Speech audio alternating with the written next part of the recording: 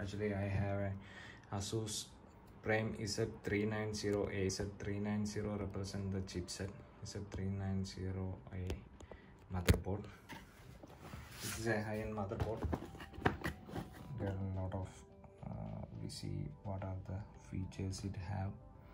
Actually it supports the intel 8th generation and the 9th generation and processors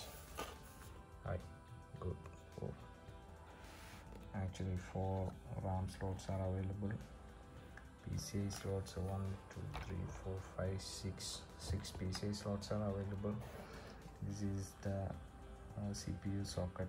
It supports LGA 1151 1151 socket. This is the 80x cable. Mm, then comes about the okay.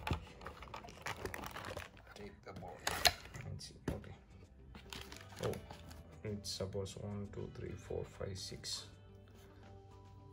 six SATA devices. You can support six SATA devices. Okay. Then what's the main feature? Okay, back and what are the display? We'll see. What are the display it's supported?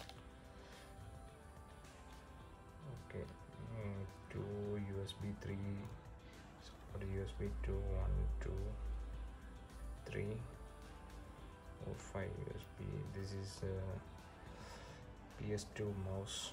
Oh, display port and HDMI DP as well as HDMI it will support.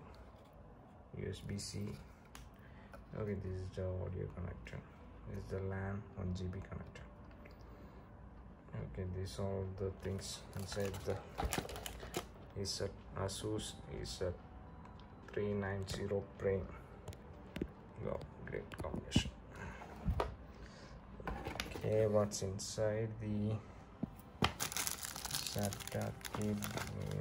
Yeah, this is the data cable actually. Yeah, three data cables are available. This is a screw set. Okay, M2 connector set. Uh, this is for the um, we need to place at the cabinet. Okay it's everything it's very very well it explained.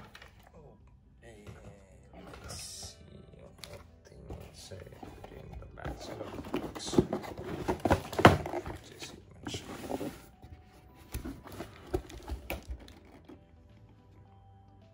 okay this much usb ports are available it supports the Intel LAN. Okay, VG display port and HDMI ports are available. Audio features. This much expansion slots, two PCI slots.